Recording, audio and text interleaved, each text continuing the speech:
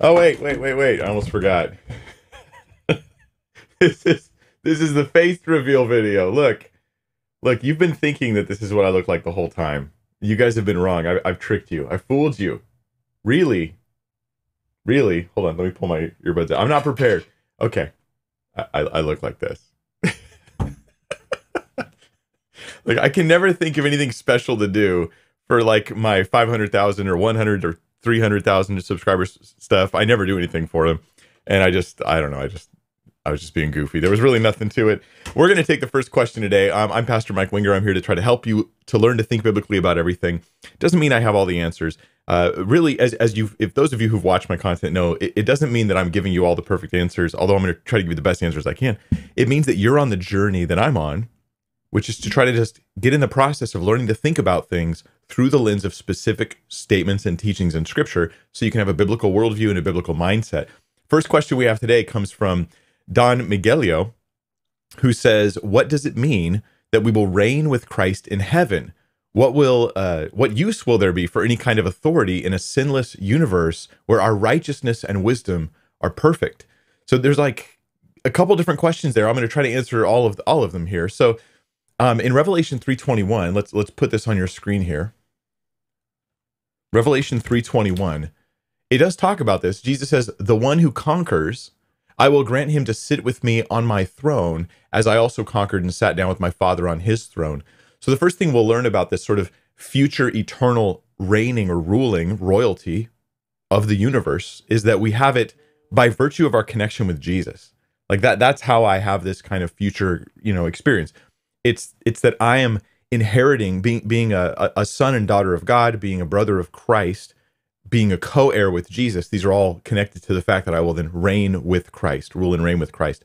So my intimate connection with Jesus gives me a relationship with the new creation where I'm in and you are if, if, if we overcome if we indeed hold on hold fast to the faith that we experience that um, it's kind of like genesis and some people will treat like the new creation as though it's sort of a um, garden of eden restored but i think it's better than that so let me just say um, there's the garden of eden element genesis 1 26 when god says you know let us make man in our image after our likeness and let them have dominion dominion that's rulership over the fish of the sea, over the birds of the heavens, over the livestock, and over all the earth, and over every creeping thing that creeps on the earth. God made man to have this sort of authority and rulership over the earth. But the future reigning with Christ is bigger and broader. It's more than that. Yes, it's restored right relationship of mankind with earth and the creatures of earth, but it's it's also inheriting all of creation, including even angels, like ruling over angels. Um, so another verse that talks about this is Matthew 19, verse 27 and 28, and we'll read uh, to 30, I guess. So then Peter said in reply, talking to Jesus, Peter says, See, we've left everything and followed you. What then will we have? Jesus said to them, Truly I say to you, in the new world, in the new world, so that's talking about the new creation, that, that is the permanent, eternal situation. When the Son of Man will sit on his glorious throne, you who follow me will also sit on 12 thrones, judging the 12 tribes of Israel. This seems to imply the apostle specifically being in, in this kind of position. And um, what's interesting about that is that we, we all share in the heirship of Christ. We all rule the universe. But in relation to other humans, there is going to be different degrees of authority that different people have, having authority in, to some extent over other people um, that are in the kingdom. And everyone who has left houses or brothers or sisters, everyone, not just uh, some, or father or mother or children or lands for my name's sake will receive a hundredfold and will inherit eternal life. But many who are first will be last, and the last first. So let me th- then try to tackle some of your some of your thoughts here, at least from my opinion. Don Miguelo, uh, Miguelo, Miguelio, sorry. Uh, okay, so I'll just call you Don. um, at any rate, your question is why is there authority in a sinless universe? Like, why is there any kind of authority in a universe where there's no sin? That's a good question. I think the the answer is going to be simply to say we have to realize that authority doesn't only exist because of sin. Certainly, God would be an authority over us in that in that in that eternal and glorious and sinless universe, but that's not because we're sinning. So authority isn't doesn't only exist to stop sin, although that's one of its functions and an important function in our society. It can be good just on its own. It can just demonstrate goods and have qualities, of value just for being authority in and of itself.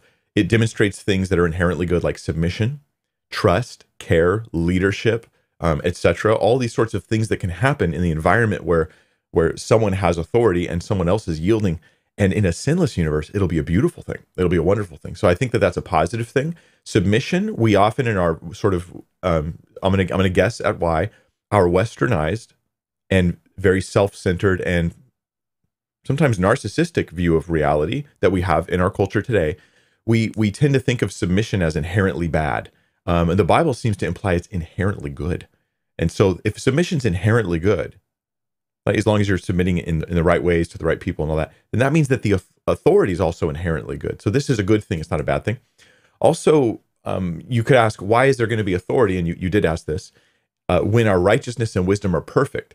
That is, why is anybody going to have authority over me when I would have all the great ideas they would have, right? Like we're all in agreement, might be one way of putting it. I'm not sure if we're all going to be totally in agreement.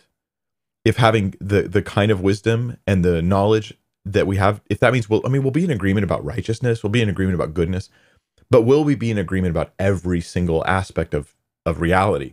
I don't know about that. Um, but I'll say this: whether we are or not, uh, maybe it's because organization requires authority.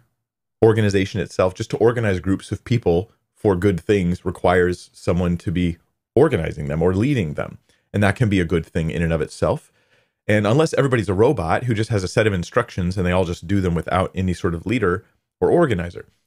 Um, also, we we rule over more than just each other in the new creation. We rule over all of creation, including angels and all this sort of thing. So, I think that um, I have some questions that linger, lots of questions that linger about eternal life and about the the eternal realm and what will our bodies be like and what will that be like. I don't think of it as being a spaceless, distant sort of like in outer space. I'm sort of hanging out there. I think of it as being a more grounded experience, um, uh, heaven meets earth kind of thing. And I also wonder about the millennium. Okay, so I'm premillennial. I, maybe I'll change my mind one day on that, but I'm premillennial. I think the thousand year reign of Christ is a future reality that comes before the new creation. And there's going to be a ruling over the nations that happens during that as well. And so there's going to be an element of ruling there that I, I wonder what scriptures might be referring to that specifically and not something else even further distant in the ultimate new creation. So yeah, um, there's more you guys could look into for homework. I'll point you to Matthew 25 before we go to question number two. Matthew 25 talks about the parable of the talents. And this is where Jesus basically, I'll summarize, he gives like a, a gift of, or I should not really a gift, more like a responsibility of a large sum of money. This this this uh, this business owner in the parable to a group of different people. And so he gives he gives a, a, small amount of talents to one guy, a medium amount to someone else, and a large amount to someone else. And then later he comes back and basically, sh- long story short, the ones who were very faithful and they invested and they made good use of what they were given, they inherited rulership over much in the future. And this is a parable connected to our eternal future. So not only will you inherit heaven, but if you're faithful with the things that God has given you, if you serve well in this life, and only the Lord will test that, whether that's true or not of me or of you, then there will be, it seems, a greater responsibility in the heavenly kingdom related to that. All right, so we're going to go to question number two. This question comes from Bryce Johnson, who asks, um, "Hey, Pastor Mike, hope you're well. Um, I'm I'm getting I'm getting there. I'm I'm still stuck in the in the grip of I guess what is long COVID, and um, there's not um, there's not much to be done except to try to manage how much activity I do. If, if, I overdo it, it like throws me out for like days. And so I'll get over it over time. I'm just, my productivity is really dismal at the moment. Um, anyway, you brought it up. So I thought I mentioned that to you. I do, however, have my next women in ministry video coming out though, and it's already recorded. I've already edited. I just need to double check a couple things and I'll probably put it up within the next two days. So maybe Sunday, I'll, I'll put it up online and you guys can check that out. It's on the First Corinthians 14 passage, which deals with um, women be silent in the church. It's shameful for, for, a woman to speak in church. Verses that, taken out of context, are hugely inflammatory, but even which understood in context are still going to be irritating people, um, especially if they don't have a complementarian view of things. Okay, well, we'll dig, dig into all that stuff um, when that video comes out on, I think, Sunday, probably. So, Bryce, you say, um, are there any non Calvinist systematic theology books you recommend? Thank you for all you do. here's the thing, Bryce, and I got to be super straight with you. My study of, of of theology now doesn't doesn't flow from any one resource. And so I'm not that familiar with one resource that I could in modern times point you to.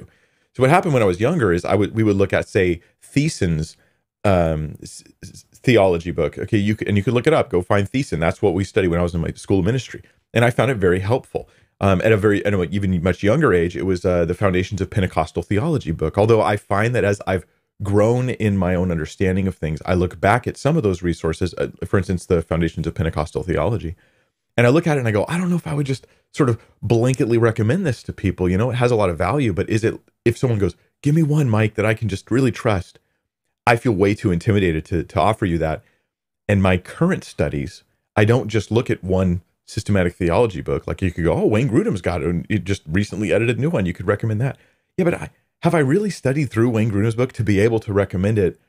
I feel hesitant to suggest one uh, because you might take whatever respect or trust you have for me and think that me suggesting this book is an endorsement when I haven't done the homework to be able to endorse it. Doesn't mean it's bad. So when it comes to those kinds of book recommendations, in my own studies, I don't I don't do that. What I'll do is if I pick a, a doctrinal topic, I might look at one entry in a systematic theology book here, the same issue in that book here, in that book here, in that book here. That doesn't give me a great knowledge of each of those books as a whole because I'm just studying that one topic. Anyway, this is why I can't offer too many good recommendations for you on that. I apologize. Um, yeah, when it comes to book recommendations, I tend to be very um, hesitant for that reason. Eric Sten, uh, Stensrud says in Lord of the Rings, uh, good question already, I can tell. Would you consider the hair length too long for some characters, such as Aragorn or Legolas? How do I apply 1 Corinthians 11 when designing characters for my own projects? Um, so this was a, a challenging thing for me. For those of you who watch my my video on hair coverings, first off, congratulations. Uh, that's a long time to watch the whole video. Um, it, it's a fraction of the time it took to make it, though. But the um, but one of the conclusions I had there that I didn't enjoy, I didn't like, to be honest with you, but I feel is what Scripture seems to clearly be teaching. Um, in my opinion, is that hair length does matter as a transcendent principle that's not dependent on culture.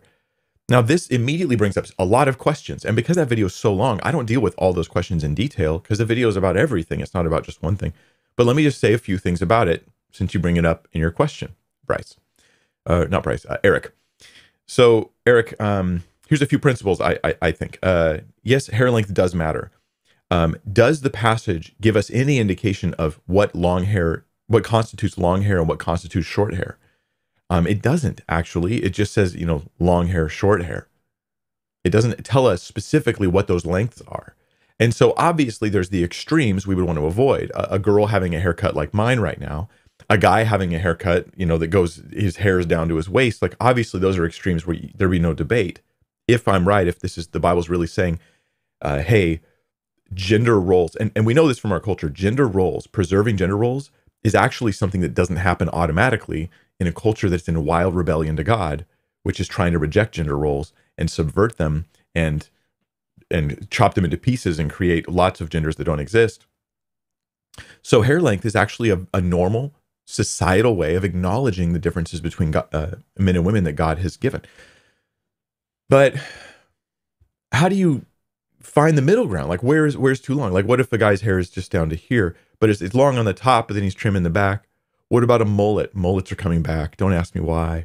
I have no spiritual, you know, comment about mullets, but just but just my cultural comment is and so maybe you guys would join me in in a collective a collective groan that somehow mullets are coming back um, for the youth. But the uh, you know is is a mullet okay? Well, I mean, a mullet is known as a guy's hairstyle.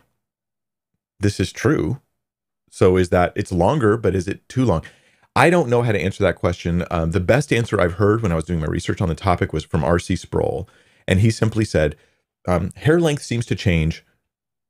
You know, when you move from different times and seasons, even within a culture or across cultures. But what seems to be the general rule in most cultures is that hair is longer for the women and shorter for the men. And so you might look around your culture and ask, and this is very loose, but this is all I got for you. Um, is my hair length or the hair length of say Aragorn is that reflective of a of, of a man with a long, longer hairstyle, but it's still a guy's hairstyle, or a girl with with sh- shorter hair? Which which one does it seem to reflect? And so in that, I would say there's there's a little bit of liberty and there's some looseness in, in my interpretation. But when I have gray areas, I don't approach them with a lot of strictness. I approach them with more looseness. So that would be a gray area. Um, Aragorn, my opinion, um, I never saw his hair and thought it looked girly but he also didn't do it like a girl. So, I mean, I'm just giving you my gut reaction there. I'm not the one who gets to decide these things. So those are my opinions. Um, now some would push back and say, but Mike, some women can't grow long hair. Like they physically can't. Their hair breaks off. They can't grow it that long because of some genetic issue. Um, and some people suggest there's whole groups of people where they just women can't grow their hair that long. And what I would just point out to them is understand the logic of the hair growth in 1 Corinthians 11 it's based on the idea that women can naturally grow hair longer. That's why it's seen as evidence that God wants them to. So, any woman who doesn't naturally grow longer hair, there is no requirement for her to grow her hair longer because nature has not given her that. God has not equipped her with that. So, there's no expectation there. So, this rule would simply apply to most people, but not all people, because not everybody can grow their hair like that. Um, anyway, I'll move forward. I'm probably answering more than you're asking.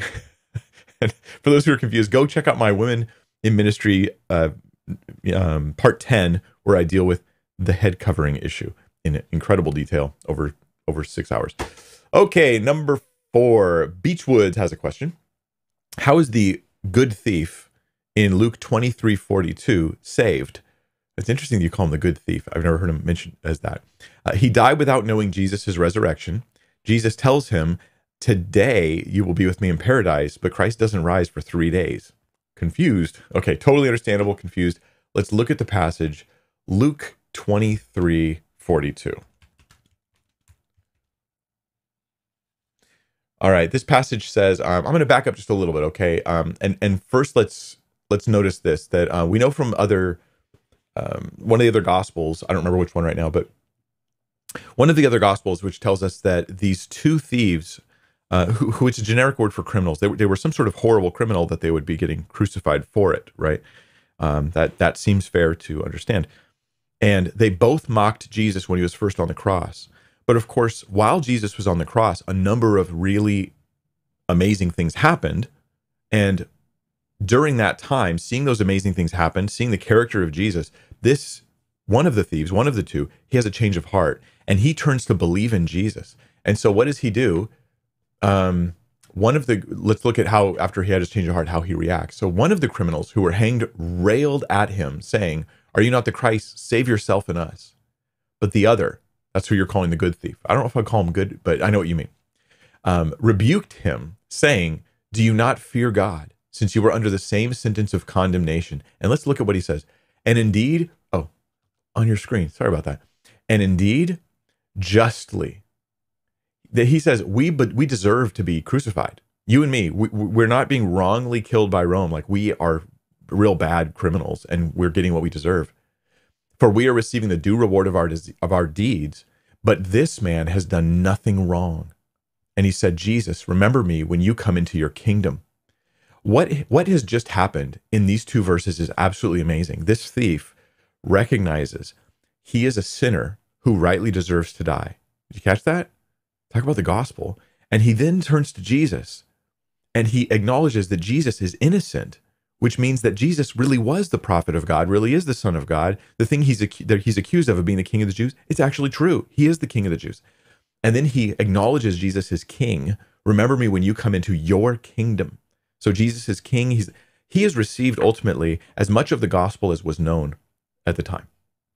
He even believes that Jesus on the cross, even though he's dying, he's undefeated.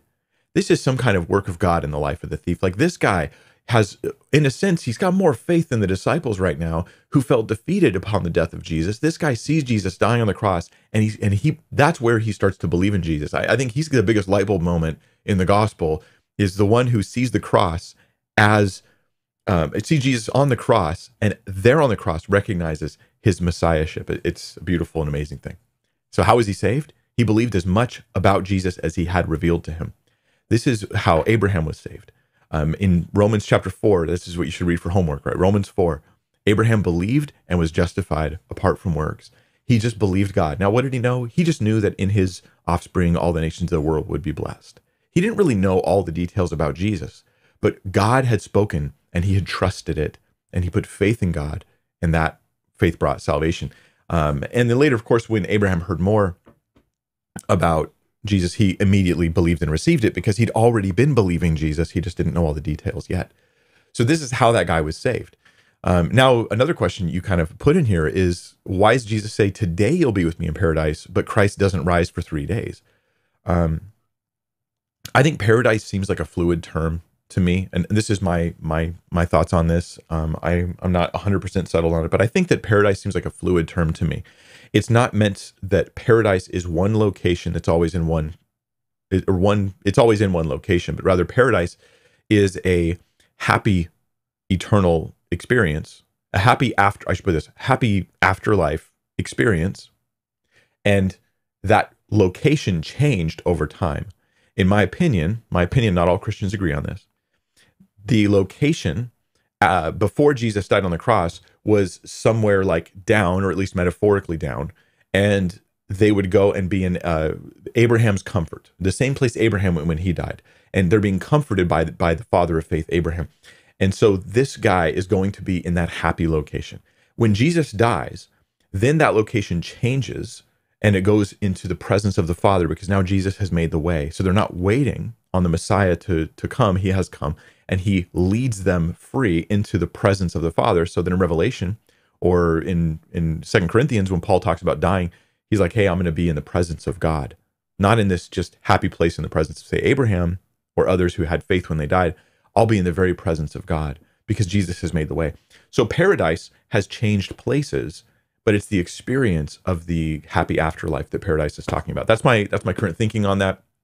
The thief went with Jesus into that location. Uh, he died that day to preach to those souls who had already been waiting on Christ and already d- died, and even even those probably who'd rejected Christ. Read about read, you can read about that in First Peter. I'm, I'm, I'm talking, I'm sharing too many things, aren't I? To getting too complicated. But, um, but then that thief would have been taken with Jesus along with the rest into the presence of the Father. Now that the way had been made, that would be my my current understanding on that, um, and my answer to you. So let's look at number five. Andy Williams says, "How do you talk to someone who claims Christian faith? So they claim to be a Christian, but hates people groups because they are quote haters of God and denied Jesus." friend won't talk to me because I don't hate evil people enough. Okay, um, Andy, I'm gonna have to guess a little bit because there seems like there's probably like if if I had you eye to eye, I would ask you a bunch of questions to understand your situation a lot better. But let me just talk about the issue of hating a group of people because they are quote haters of God and denied Jesus. I mean, I'm thinking he's talking about Jewish people here, uh, because that type of rhetoric is usually used related to Jewish people. Um,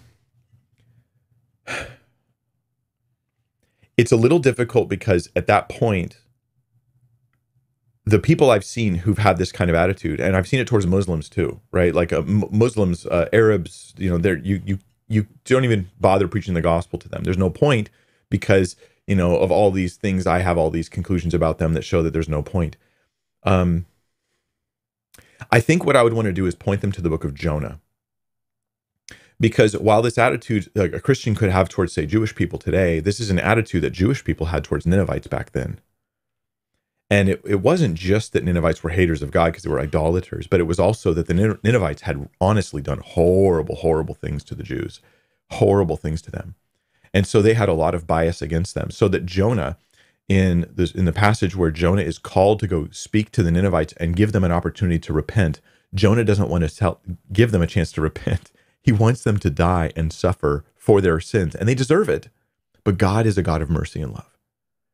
So Jonah goes the other way. He flees, he flees into the ocean go the opposite direction away from Nineveh. Long story short, he ends up still there. When the people repent and God doesn't judge them, he's then pouting and he's really upset and he's upset about his his his his this gourd, this plant thing that has risen up and given him shade and then died right away, and he's all mad about it. And God's using it as an analogy. He's like, "You're more upset about this plant than you are about the lives of those people." Um, what I would say is go to maybe the story of Jonah and, and ask him what was wrong with Jonah's mentality. Just tell him what what do you think was wrong with Jonah's mentality towards the Ninevites? What do you think it was? Or maybe take them to Romans 11, where Paul talks about the Jewish people in the future receiving the Messiah and how he has this great hope for them. Or look at Paul the Apostle, who was persecuted by the Jews, who was one of the Jews who rejected Jesus, and then he gets saved, right? Now he's persecuted by them. Now they're attacking him. Now they hate him. And in Romans, I think it's Romans 10, he's like, um, I, I, could wish that I myself was accursed for the sake of my brethren.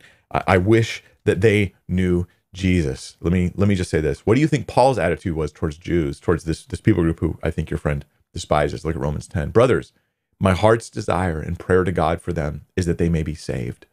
For I bear them witness that they have a zeal for God, but not according to knowledge. For being ignorant of the righteousness of God and seeking to establish their own, they did not submit to God's righteousness. He did not give up on them. In Romans 11, he talks about how there will be a future revival of the Jewish people.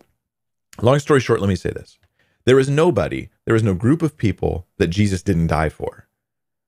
And it is it is a huge horrible error Old Testament and New Testament to try to take a group of people and assign them the label God haters, irredeemable. Because it is exactly those kinds of people that God makes an example of to show his mercy. So I would say that you're, you're, you're maybe those are some things you can you can talk to your friend about. I, I hope that it would help. Let's look at the next question. Uh, number six, Patrick Schmidt says, What is the meaning of the 12 and seven baskets left over from the feeding of the 5,000 and 4,000?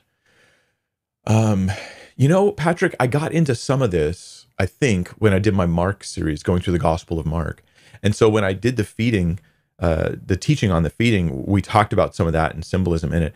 I'm I believe in the symbolism of numbers in the Bible, but I believe in it um, cautiously so that I don't just say, uh, let's just say, I've seen a lot of reckless attitudes towards this stuff where it ends up feeling like just confirmation bias. It's like this number means this. I've even seen in, in a resource that's meant to just give you the meaning of all the numbers in the Bible, where they'll interpret seven to mean one thing in one passage and seven means something else in a different passage.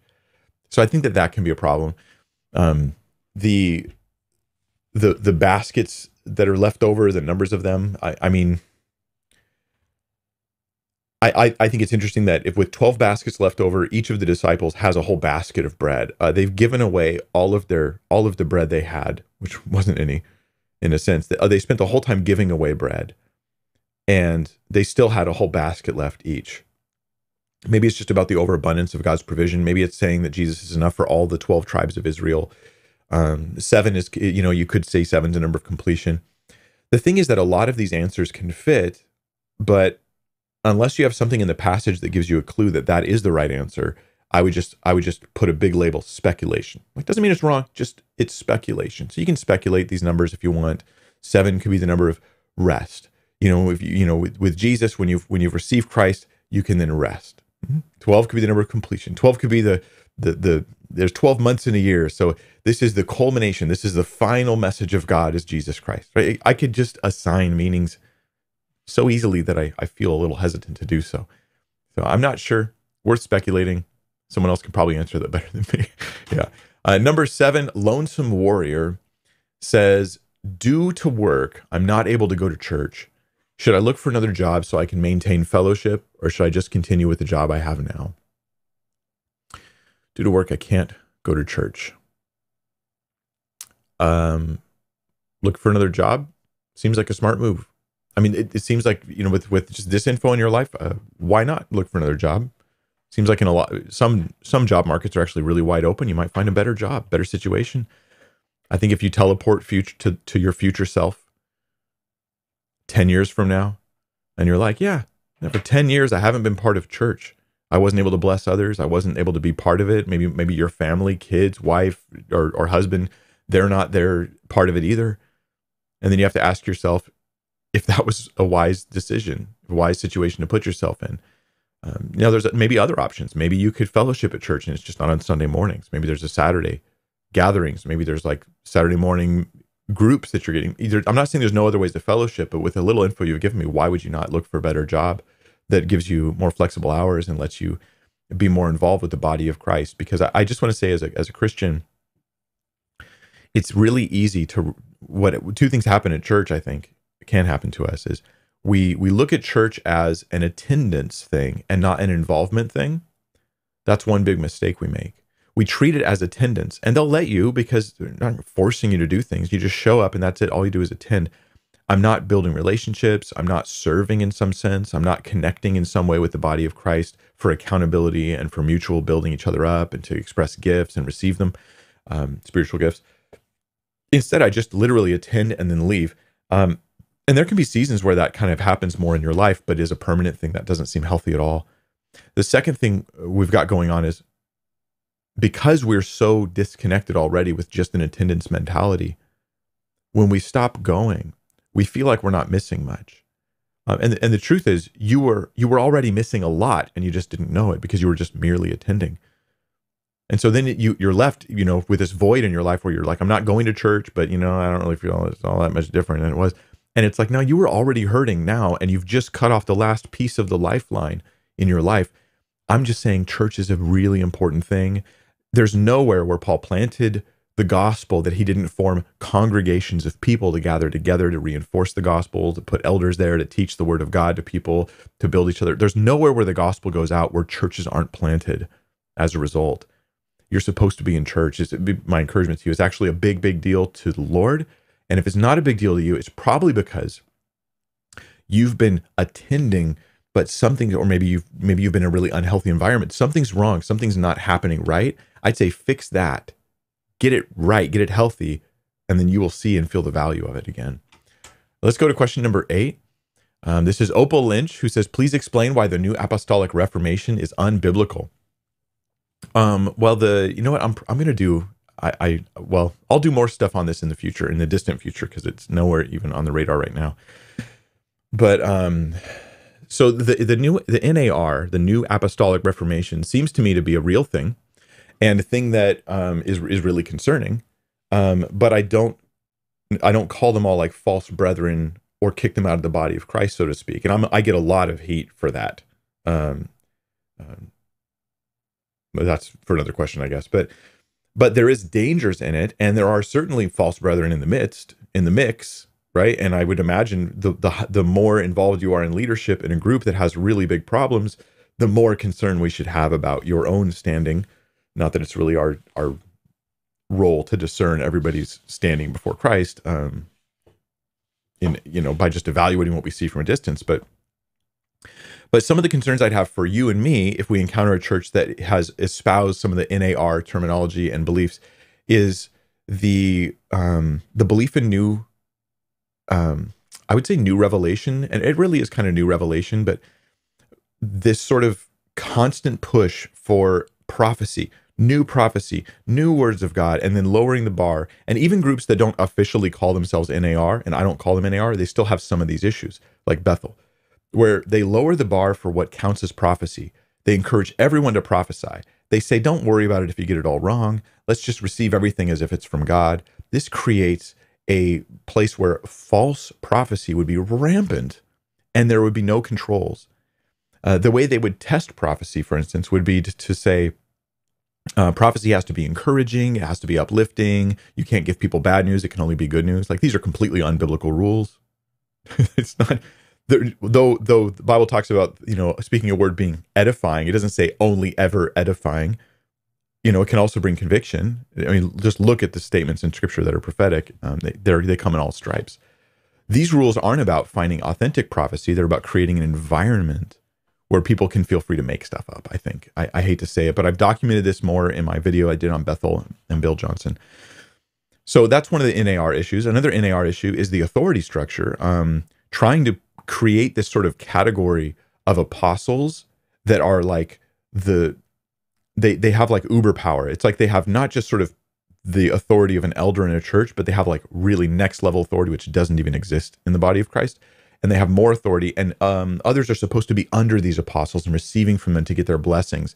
And this creates a a power situation that's unhealthy in the body of christ i believe.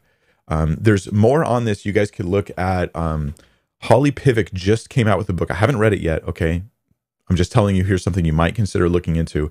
They just came out with another book and i'm trying to find the name of it really quick Holly Pivec and Doug Geivett, I think it is. Um, um, just came out with a book called Counterfeit Kingdom. And it's going to get into a lot of those issues. They actually quote some of my work on the Passion Translation. And um, oh, how weird. When you go to the book page on Amazon, it's like not there. Okay, this other link works. Counterfeit Kingdom, the dangers of new revelation, new prophets, and new age practices in the church. So if you just type Counterfeit Kingdom book, it just came out. Haven't read it yet, but I, I saw the chapter they did on the Passion Translation. Uh, they got my feedback before they published it. So that will probably give you more stuff to, to be concerned about. I think my concern with those of us who interact with the NAR or or those who are similar to the NAR, but they're not under that umbrella technically, is just that we accurately portray them, accurately understand the issues that are there, and then we can confront them openly and lovingly. And there are many, many, many in the discernment community online, and I would consider myself part of that too. Like I do discernment stuff, who um, their views are the test of you being faithful to Jesus is how quick you are to exaggerate, overblow, and overreact to every single little mistake everyone makes. and, and I mean that just happens. That's not all the discernment community, but that is one of the one of the errors. It's it's it's like to a hammer, everything looks like a nail. Uh, to some discernment people, everything looks like heresy. And we need to find that balance where there's wisdom. We're, we're bold and uncompromised, but we have wisdom as well. Um, I, I, guess I could talk about that for a while because you you guys have seen too, and, and you you know you need to use your own discernment on these things as well. But but I've been really raked over the coals by some people because I I don't call Joel Osteen a, a, a hellbound individual, even though I literally just have made content just to expose major major problems with his teaching and hopefully decrease his influence in people's lives. Right, like that's my goal here. But but I won't say I'm certain he's going to hell, and so because of that. Um, I'm I'm being raked under the coals by these certain discernment groups. Now, don't take your uh, don't think that what I'm saying here is if you like me, you can't like those guys. That's not what I'm saying. What I'm saying is this: here's a guy Joel Osteen that, as far as I know, as far as I know, maybe I'm wrong, uh, holds to the gospel. Right? He doesn't teach it well. He doesn't communicate it well, and he doesn't communicate it consistently. So his teaching is not promoting the gospel of Christ. That's the big issue I have but his personal views do seem to support the gospel of Christ.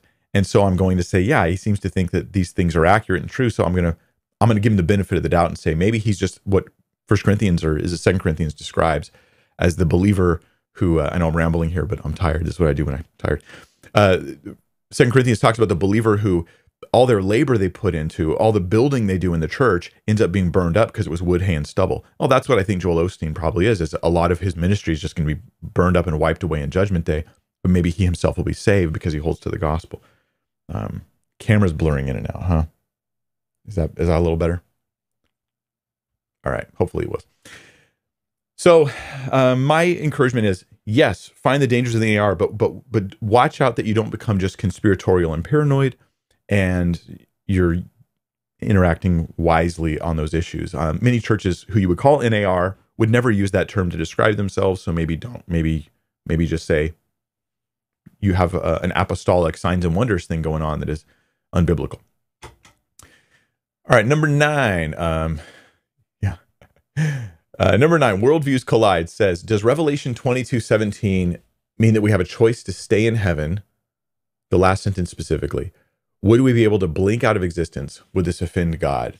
Revelation 22 17. Well, what an interesting question. Let's see what passage you are thinking of. And we'll put it on screen. The Spirit and the bride say, Come.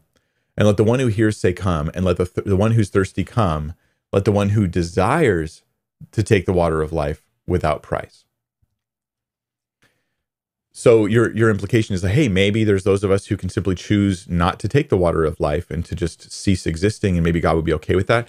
Um, it seems as though you're asking, if I'm understanding right, if a Christian who believes in Jesus and makes it into heaven, um, and they're part of the resurrection here in Revelation, and in 22 they're, they've been they've been brought back into uh, an eternal, uncorrupt body. They get to say, you know, I think I just want to sort of disappear. And maybe you even feel that way. I don't doubt that the psychology of even some Christians would have them going, I think I'd rather just stop existing. Um, I just want to say is that psychologically, you've got so much weird stuff going on. You think that's true. There's no way you would think it at that moment. There's no way you would think it at that moment. Well, now that I'm in total joy and happiness, total peace and great understanding about all of what's gone on in life, incredible, overwhelming, overflowing capacities of joy just being maxed out, I think I'd rather stop existing. Like that's not going to happen. You may feel that way now, but your feelings are just wrong. That's the good news. Feelings are wrong all the time. Um, but this verse definitely is not about that. The people in this passage who are being appealed to to come and drink the water of life is everybody who hears the book of Revelation after they've after they've read all the stuff that's coming, they know the kingdom's coming, and then it's an appeal for salvation. It's telling the unsaved to come and get saved. It's not telling the saved that there's a moment of decision where they decide whether they'll stay in existence or not. It's telling the unsaved to get saved. Come, you're thirsty, come. God wants you, God loves you. Unlike the guy who thinks they're just God haters, forget them. No, that's right. They're God haters. And God says, Come, come, I will make you my friends, you who are my enemies. I will die for you, you who are killing me, so that you might come and freely drink the water of eternal life. That would be the context of that passage. So it's just not about um, a decision Christians make, it's a decision non Christians make to actually become a Christian. Let's go to the next question. That is number 10. Owen Reynolds says If Adam and Eve didn't have knowledge of good and evil, how would they know it's wrong to disobey God and to eat from the tree of the knowledge of good and evil? Um, oh, and I totally understand what you're saying here. Um, it doesn't really make sense if we think that Adam, like and Eve, literally couldn't understand the concept of wrongness or rightness. Because how would they have known when God says don't do that? How, how would they understand that that's something you should not do? You should. There's a there's an ought that's there. Um, I think this is because we might be oversimplifying the term knowledge of good and evil. It just doesn't mean they simply had awareness that there was something right to do, something wrong to do. It was it seems to me to be something deeper than that, something bigger than that. And I I struggle to define it personally. Because I want to say maybe it's um the I guess what I lean on is saying it's the experiential knowledge. Okay, this is me trying to wrap my little brain around it. The experiential knowledge of doing right and wrong, knowing it more intimately. Um, before you ever stole anything when you were a kid, you knew what stealing was, perhaps, depending on how old you were, but you hadn't actually done it. Once you had stolen, now you knew what stealing was. You get what I mean? This is an experiential thing that's in a different fashion.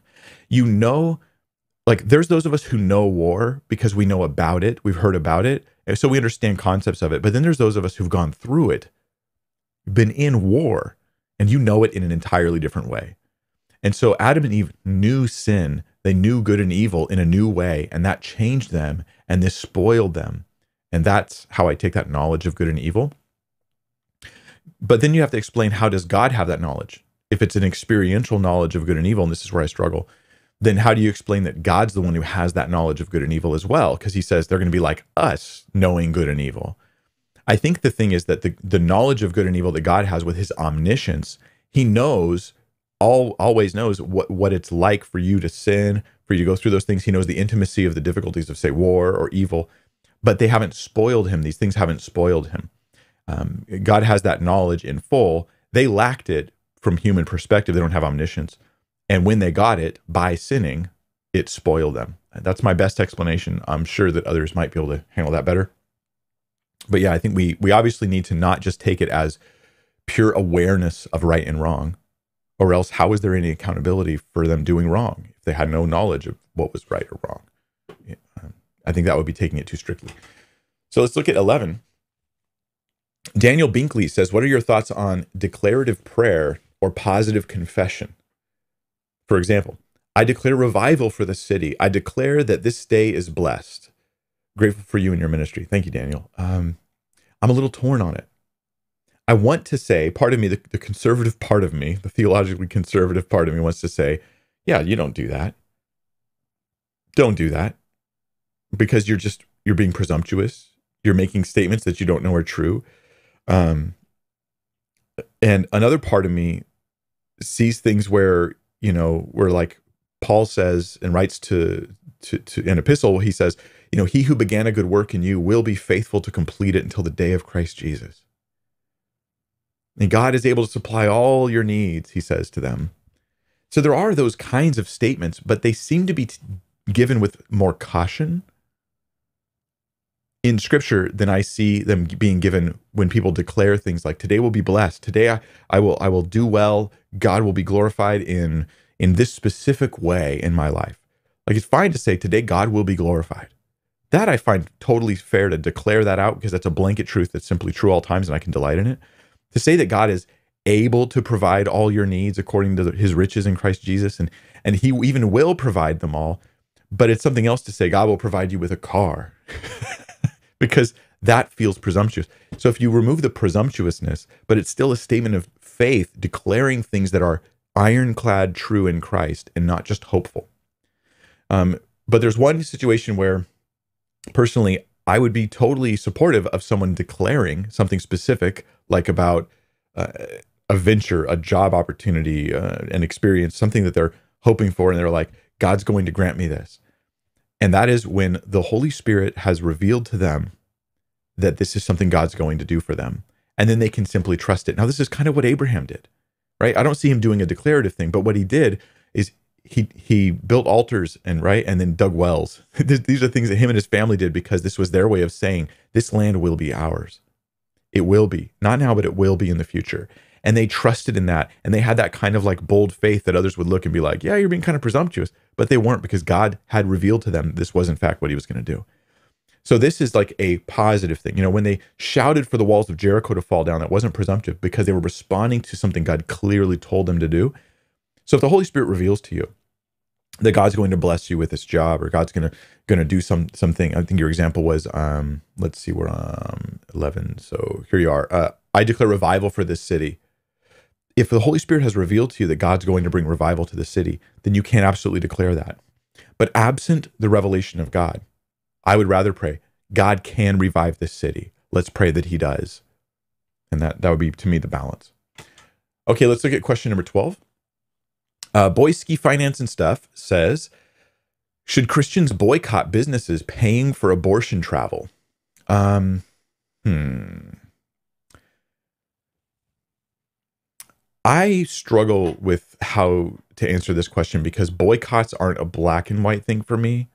Um, if it's black and white, and what I mean by that is if I'm supposed to boycott every business that's supporting things I, I think are wrong, then I've two questions about that. One is give me a list of business businesses I can still buy from, right? Because you need to now look into all of them and see all the things they're doing that are wrong. And you need to then give me the ability to say I can shop at Winco or I can shop at Walmart or I can shop at, or maybe to grow all my, all my own food now, um, which is difficult in Southern California because you do not have land.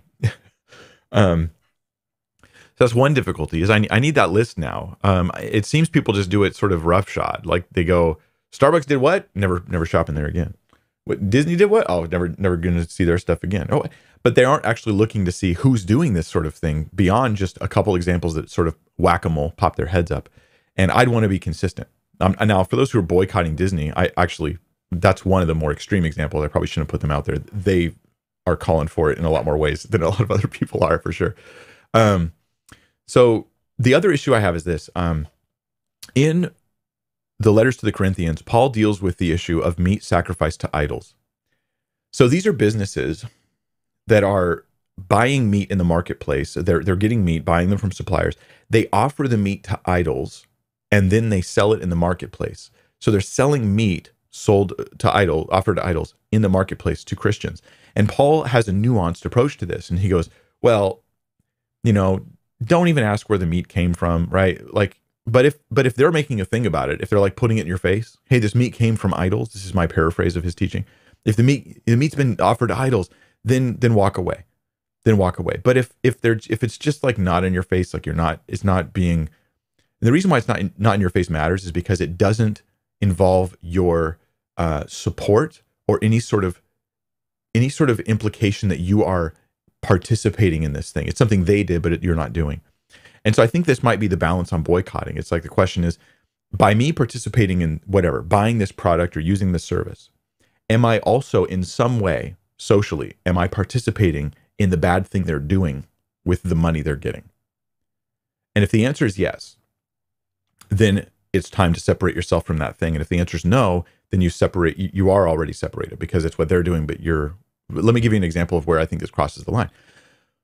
I go to a movie theater and I pay money to support the new Disney movie, which I've only heard reports on. So if the reports are accurate, it's like um, really bad. It's something bad for children to watch, and it promotes ungodliness and and stuff like that. As far as the the Strange World, I think it's called.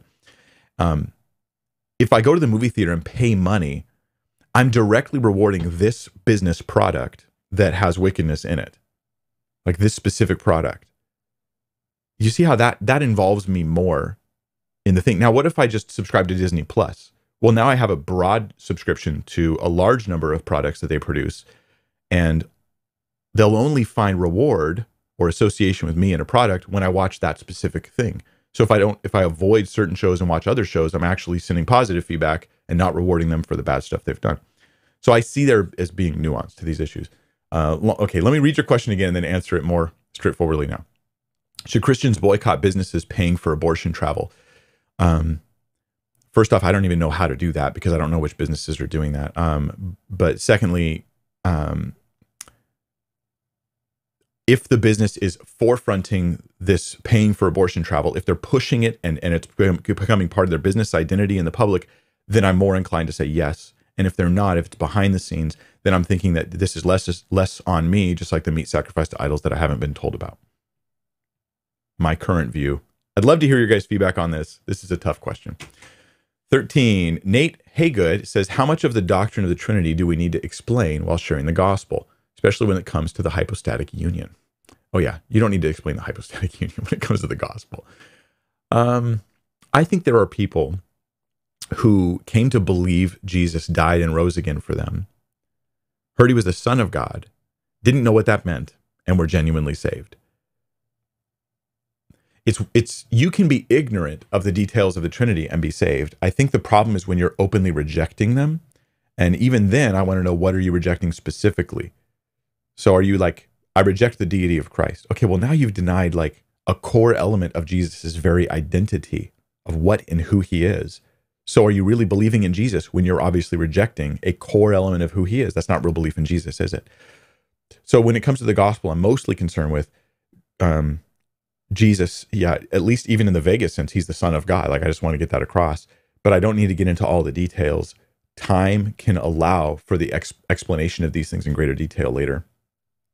Yeah, that'd be my my short answer. Uh, number 14, Taylor Paris says, Is it clear in Old Testament prophecies that Jesus will come not only once, but twice? Thanks, Mike. Um, th- that's a big question because Old Testament prophecies is this massive, massive category. So is it clear? Um, I don't know if it's clear. I don't know what you mean is clear. It's there. I would, I would say it's there. It's definitely there. Is it clear? You know, the, the Jews in Jesus' time had a theory about this. They, they actually had the two Messiah theory because they saw passages that talked about the Messiah suffering and dying, and they saw passages that talked about him ruling and reigning and, and like ruling over the world. And so they were like, yeah, well, maybe there's two Messiahs. One of them dies, one of them rules. You see how they were? So was, it was obviously not, it wasn't clear that there was only one coming. Maybe I could put it that way. It was not clear there was only one coming. It may not have been clear there were two comings, but there was a lot of data that that made a lot more sense when you saw it in light of the first and second coming of Christ and the incorporation of the Gentiles into the kingdom. But we have things like um like David, King David, and this is typology here. So this is I wouldn't call it clear. I would say in hindsight, you go, oh, and the light bulb goes on. Uh, King David, who um, uh, comes once and is rejected as king, and then later he comes and he's received he's actually hunted when he's first revealed to be the anointed one, the king, and and he's the type of the Messiah. And we have Moses, who in the first attempt to deliver the people is rejected, and then he goes out and he does stuff among the non-believers, the Gentiles, and prospers there, and then comes back and delivers the people. So that's interesting. And Jesus in his first coming was rejected, goes out and and raises up the Gentiles. I mean, David did the same thing. He he actually raised up an army while he was gone. Jephthah in the book of Judges, he's brought in um, or he's rejected by the Jewish people, and he goes out and it says worthless men followed him, and then later they need deliverance, and now him and the worthless men follow, following him. That's us. That's you and me. Um, they come and they deliver the Jewish people. So th- this is does this clearly teach the first and second coming of Christ? No, no, but it's consistent with it, and the clarity comes more in hindsight. I think, yeah. So yeah, I, I think a, a, a more studied answer would be better, but there's some thoughts for you. All right, Conan Rose says if a friend says they're looking for a religion that feels right, in quotes, how do uh, how do I approach them if they've already left Christianity? I mean, this is such a tough question for me. People are so different and individual, and relationships are so different. Some relationships, the best thing to do is you just tell them like, "You're being a fool. What are you? You're being such a fool. You're literally just making stuff up to make yourself feel good. How how is that ever going to work in your life? Like, I mean, and maybe in some people that's how you approach them, and maybe somebody else you just go, "What do you mean feels right? What didn't feel right before?" And you just start doing like a million questions to try to pull it all out of them. I don't know the right answer here because people are so different and relationships are so different. Um, let me just point out some problems that I would at least be trying to pay attention to, some issues I would try to address as I'm watching them and they're watching me and I know our relationship. And some of the issues I want to address is this they already left Christianity. Why? That's that's important. Why did they leave? Another question I would want to ask them and find out about if they if they would share it with me is what Christianity did they leave? because I would strongly suspect that when they describe the Christianity they left, they will get it wrong. And that gives you a chance to just listen for a while and then say, let me tell you about the Christianity I have, which is different than the one you left. That could be an open door if that's a fruitful avenue of, of questions. What is the Christianity left? Is it even really Christianity? Um, and then they want something that feels right and then i would want to explore perhaps what is it that would feel right to you like if you could construct your ideal religion what would that look like then, after they've constructed it, you can critique or assess what is going on with this thing that feels good to them. And you can hopefully show the problems with it. Um, along with just, you know, I, I, actually had a conversation with a guy not long ago, and uh, actually over Thanksgiving, it was a family thing. And, um, and he was just like a friend of the family kind of thing. Started telling me about who he's a former Jehovah's Witness and he had left the JWs. And now he, like many former JWs, he just feels like he can't believe anything.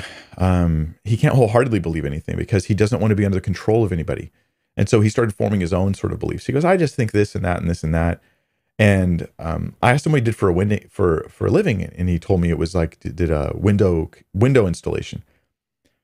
And so I gave him an analogy. I, I thought maybe this would help. Me. I don't know if you'll benefit from this in some way with your conversations. I said, let's suppose that you went to somebody who wanted windows and you were like, well, there's there's this way and that way, and there's a right way and a wrong way and all that. And they go, I don't want to do any of that. I just want, you know, I just want to do it my own way. Whatever feels right to me, I'm gonna install it myself and just put my own windows in and whatever feels good at the moment. Like I'll push this one out, I'll put this here, I'll glue it this way, or I'll use these materials.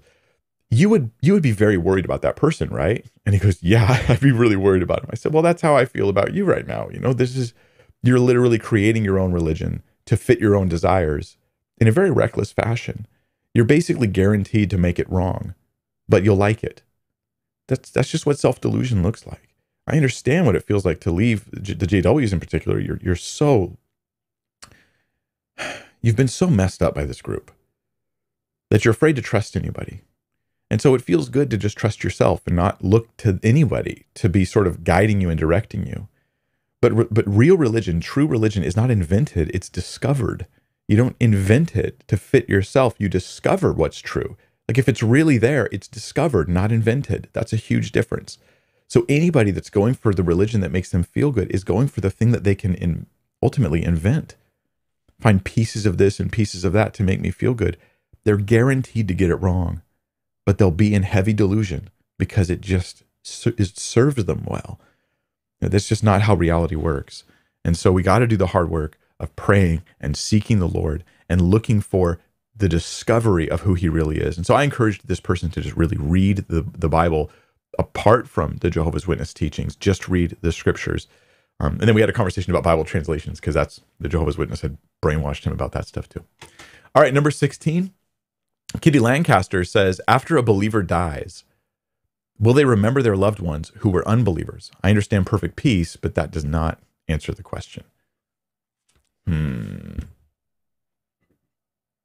but that does answer the question. I don't know. I don't know if you meant does or doesn't answer the question there, Kitty. But so after, uh, will I remember my unsaved loved ones? Well, the only reason to say you won't remember them is because you feel that that's the only solution to the problem of grief.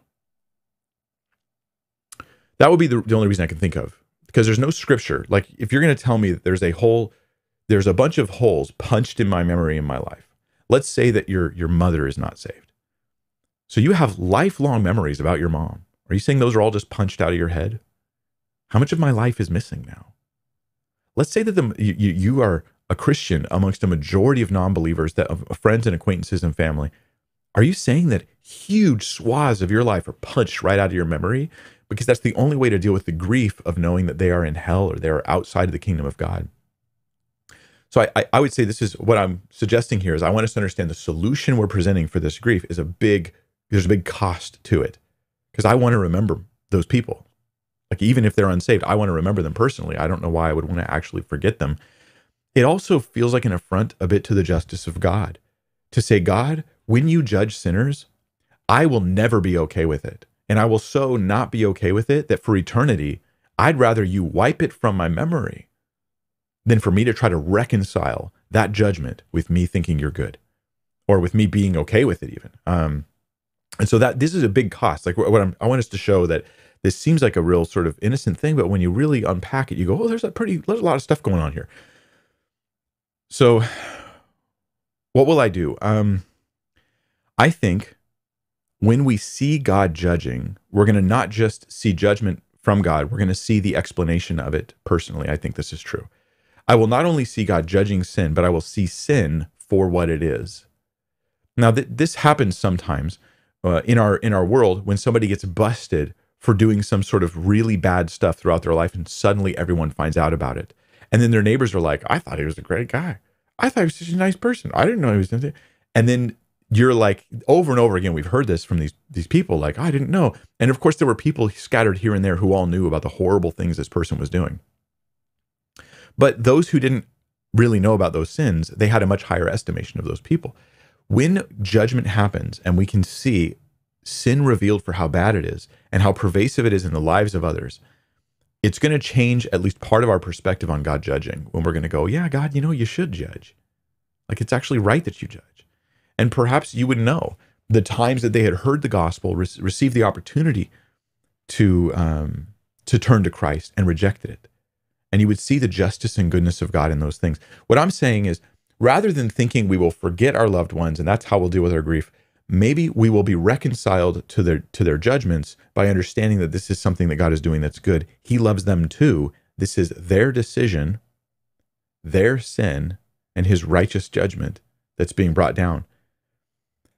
Now, you may say, I'm not okay with that right now, Mike. But I'm not saying you should be okay with it now. this is important. I'm saying I think you will be okay with it then. I don't know how you argue against that. No, I won't. No matter what knowledge God gives me, no matter what understanding I get, no matter what clarity and what wisdom and what righteous revelations I get, I will never be okay with that. I think that's actually the wrong attitude to have.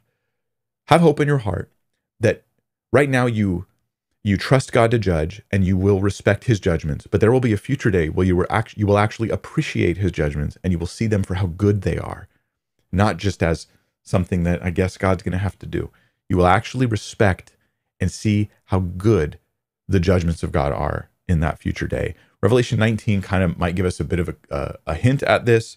Um, this is the verse that that actually um, I think of on this issue, kind of where my light bulb went off. Here, speaking about future judgment, says, After this, I heard what seemed to be the loud voice of a great multitude in heaven crying out. And here's they're crying out when? When God is judging. Hallelujah. Salvation and glory and power belong to our God, for his judgments are true and just. This is the future cry of those who, in, in revelation of Christ, in revelation of God, and in revelation of the sin of man and the judgment of man, they go, Wow, God, you were right all along. This was the right thing to do. I support it. And I think that that's a better thing to do than to think our memories are Swiss cheese. Okay, let's go to question 17. Uh, this is from XD Platypus, who says, Why do some people have a, a gift of healing and it works when they pray for people, but I can't do the same. If we're praying to the same God, why does two people's prayers give different results? Um, so these are two, a couple different questions here. I mean, you know, in general, it makes sense to me that one person prays and then someone else prays and then that prayer is answered. That, okay, well, there's all sorts of things that could be going on there. Remember when Jesus approached the disciples and they tried to cast the demon out of this boy and they tried and they had successfully cast demons out and then they tried this and it didn't work. And they go, why didn't it work when we cast tried to cast out the demon, but you just said be gone and the demon was out? And Jesus says, this one only comes out by prayer or one uh, translate one one gospel says by prayer and fasting. The two gospels read it slightly differently. The implication is that the same person could have the disciples could have achieved their answers to prayer if they had simply prayed more, prayed more seriously, more fervently, uh, fasted along with praying. That's the implication. So there there is actually perhaps there's something going on there, not about the person as much as the method. But is every prayer going to be answered like that? No, of course not. God can say yes, God can say no. Just like he wouldn't remove the thorn from the flesh of um, Paul, or he allowed Epaphroditus to get sick and almost die. Um, and Paul the apostle left him, and, and Paul the apostle knew how to pray, right? But he he left him sick instead of just praying for his healing. He obviously prayed. The guy didn't get healed. He accepted God's will and moved on. So another thing you say here though is, um, let me read it again. Um, why do some people have a gift of healing and it works when they pray for people, but I can't do the same? Like if you know anybody who's got the gift of healing and you know someone who's sick, you should bring them to that person and have them pray for them. It's possible that what you know of is you know of people who by reputation in a certain charismatic circle have this sort of gift of healing, but all you ever hear are the are the best stories they've got. They don't tell you the stories and show you all the stuff when it doesn't happen. And so you overestimate the amount of healings that they're seeing and then you think you're not seeing that. So you're you're undervaluing your experience because you're overvaluing theirs. And I've seen this happen, so I'm just saying that's a possibility. But if you know someone like that, like they got the gift of healing, and my friends got, got cancer, I pray and pray. I mean, just like get that friend over to that person if that's what it takes. I, I mean, I would just do that and say, well, you know, maybe God has his reasons for why some people have gifts and others don't in particular areas. That's okay. He doesn't have to give the same gifts to everybody. It's not a competition. We're a body. You know, someone has the gift of teaching, someone else doesn't. When your friend has a question and you, you want that to be answered, you you point them to the person with the gift of teaching. And you're not like, why don't I have that gift? It, it, right? With gift of healings, it's different. It's like our ego can be wrapped up in it in some sense. Um, but I but I hesitate to think that people have the gift of healing like an ongoing permanent thing, like they just go around healing people all the time. And that's a permanent situation as opposed to a temporary work of the spirit. I hesitate to think that that's the case. And if they do, um, then they should be they should be traveling more and visiting more hospitals. so yeah, my thoughts on that. Um, I, I, hope that something I share there helps you. XD platypus. Yeah, yeah, I hope so. All right, eighteen. Anonymous question says we homeschool, and one of the most popular Christian curricula happens to be from a Mormon. I keep going back and forth over it if I should use it because it's very solid academically advice. Is it dealing with religion? Um, if it's dealing with math, if it's dealing with others, if it, but if it's dealing with religion, if it's dealing with anything related to religion, I would be incredibly suspect of it, especially if it's a skilled teaching Mormon. Mormon is really good at teaching because they're going to embed Mormonism's current mode of operation, their current method of operation is to imitate Christianity, say, we're Christian too, there's really no difference between us. But then they use the same words as Christians with different definitions of what those words mean. God doesn't mean God. Heaven doesn't mean heaven. Salvation doesn't mean salvation. Um, you, you name it. Go on and on and on and on down the list. All these important words don't mean the same things in Mormonism. So they use the same words, but they have different meanings. So any Mormon source that's teaching religious things I would not at all put those in front of my kids or use those resources. If it's teaching math, history, unrelated topics, right? But if that history has a section on Joseph Smith, I'm like out the door. So that would be my my answer to you. At least that's my gut answer. I'm just speaking to you as a brother who you're asking for his opinion, something for you to consider with a grain of salt. Um, yeah, those are my thoughts. All right, number 19. This is from Kaylee Witten, who says, What's the difference between suppressing our emotions versus having self control over our emotions. Hmm. I struggle to show positive slash negative emotions to God or others, and I seem to distrust God or others with my emotions. Gosh, Kaylee, I'm not sure if I'm the best person to answer this. Um, I'm not sure how to answer this. Uh, the difference between suppressing emotions versus having self control. Okay, well, the self control part makes sense to me because it's just me saying, even though I feel one way, I will behave a different way. That's self control. I'm going to behave in, in a right way, even though I'm feeling desires or emotions that are pulling me in a, in a bad direction. That's a great and godly and wonderful thing. I'll do what's right no matter how I feel. Um, but suppressing emotions or struggling to show positive or negative emotions to God and others, I'm not sure where that comes where that comes in and what is all causing that. I, I know that when I was a child, uh, personally, just speaking from my own life, I hesitated to open up to people or or anybody, um, and that was a habit I had developed over over time for various reasons.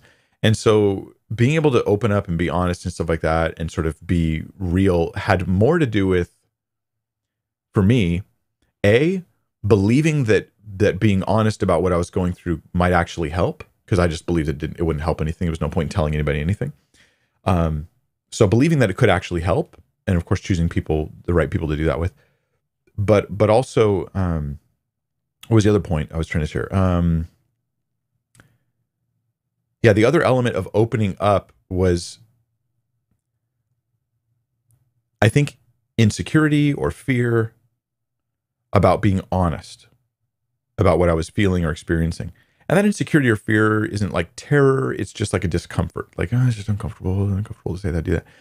But I find that in prayer, when I work through my emotions with God, I like I talk to the Lord about the things that I'm experiencing, that that is a very helpful thing. And often, as I'm expressing those emotional things I'm going through with the Lord, that's when wisdom comes. The Holy Spirit seems to reveal things to me that are just like exactly what I needed to give me direction. And I don't think it would have come had I not opened up. And so, like a verse for you on this um, is Psalm. One of my favorite verses is Psalm 62, um, verse 8. Let me put it on your screen. Where it says, Trust in him at all times, O people. Pour out your heart before him. God is a refuge for us.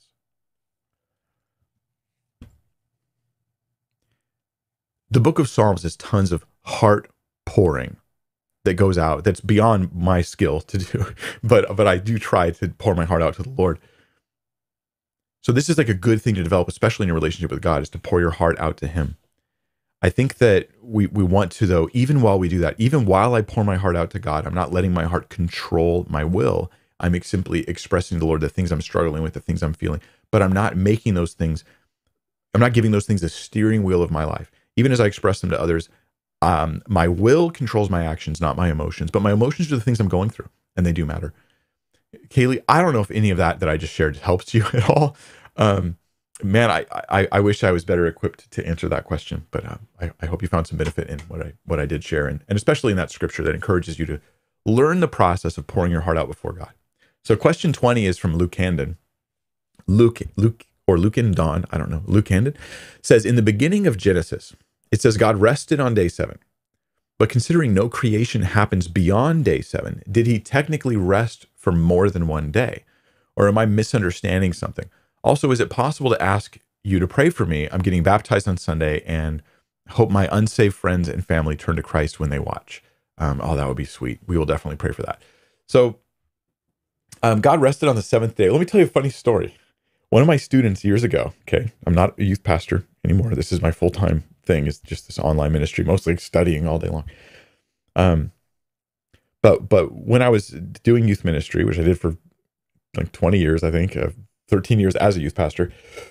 Uh, one time, a student came up to me and told me that in his Bible club, where they would meet us at, at, on a on a you know public school campus in a high school, and they would go to this Bible club once a week, and they had a guest pastor from some youth ministry locally, and someone asked him, "Why did God rest on the seventh day?"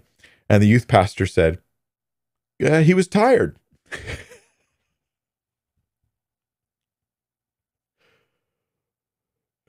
just that's just such commentary. on on on uh, on the state of things. And um, and the kid came up to me and he was like, you know, he didn't interrupt the pastor when he was talking, right? He came to me afterwards, like that night when we had youth ministry, and he was like, "Is that right? That seemed kind of weird to me. Like God wouldn't get tired, would he?" And I was like, "No, I wasn't tired. He rested because he was done. that was it. He rested because he was done." So he rested on the seventh day. The seventh day then becomes iconic for this idea of resting from labor or being done with with labor. Um, both of those concepts, which are different, are both connected to that to that day. In the book of Hebrews, it talks about it too. In Exodus, that same idea of resting on the Sabbath is brought up, and the parallel is, hey, you guys will work six days. This is the under under the law, the commands to Israel. They're under the law. You will work six days. You will rest on the Sabbath, and um, if you don't, God's going to get pretty upset actually. That you will rest on the Sabbath, but then they work six more days. So this was meant to be teaching a cyclical week. So there's a sense in which the seventh day represents rest, not every day after that, but the seventh day becomes a representation of rest. But God's creative work was basically done on the Sabbath, um, or on in the six days. Jesus then brings us up again, and when he talks about working, um, uh, he shows that God's still working, even though he rested from creation's work. He's still working, as in doing things in in, in the world, because he's challenged on uh, healing on the Sabbath in one of the Gospels. In John, I think it is, he heals on the Sabbath. Maybe it was the stretching out of the withered hands man, the withered hands man, the withered man's hand. Um, I'm getting a little loopy here. Forgive me. So he heals on the Sabbath, and they're like, you know, you you you shouldn't heal on the Sabbath. And he goes, my father's been working till now, and I'm working. But this wasn't labor like like work labor, the stuff that Exodus is talking about, or the stuff that Genesis is talking about in days one through six. This was the work of God simply being active in creation and doing things. Jesus healed someone on the Sabbath, but he implied God had been working. So even though creation's work was done, God's still active. He doesn't, it's not deism where he just bails from creation and lets things go and doesn't interact. It's God interacting still with creation. Okay, all that to say, let's reread your question again. Um, considering no creation happens beyond day seven, he didn't did didn't he technically rest for more than one day? In a sense, yes. He rested as in it was all done. But the seventh day is the iconic day that represents rest from creation, so that it was used later in the law to represent rest from work, from labor. Then in Hebrews, it's used to represent the ultimate rest of us entering into eternal glory, into the new creation in earth where we don't labor and there's no thorns and thistles, there's no difficulty and no pain, and we enter into the rest that God has for us in the eternal kingdom. So it represents more than one thing, is what I would have to say. And I, I hope that answers your question. So, Luke Camden, um, let's pray for you. Uh, you say you're getting baptized on Sunday and hoping your unsaved friends and family turn to Christ when they watch. Let, us pray. Uh, Father, we lift up uh, Luke Camden, uh, whatever his name is in, in, real life or her name. Uh, but we, we pray for uh, probably him that you would use his life as a light that would cause others to see, that they would look at his life and, and go, it seems like something's really happened between him and God. Like he's really encountered God. And they would see that. And they would see that connected not only to him, but connected to the gospel of Christ and connected to the church that he's going to be at. We pray that when they visit this church, when they see him getting baptized, wherever it takes place, that they would have the, the Holy Spirit reaching into their hearts and pulling them, saying, Come, come, you who are thirsty, convicting them of their sin making them aware of their need for Jesus, and just breaking them, Lord. May they sense that the doors of heaven are wide open to receive them if they will humble themselves at the foot of the cross. In Jesus' name, amen. All right, y'all. I will be releasing the newest video on women in ministry. Um, like I said, probably Sunday. Um, just have a little tweaks I have to do on it, and we've just got two more after that. Then I'm done with that whole series, and I'm grateful because it's it's uh, too much work. but I hope it brings great benefit to the body of Christ. That's the agenda. Anyway, that's all. Have a wonderful day. Lord bless you and keep you, make his face to shine upon you, lift up his countenance upon you, give you peace.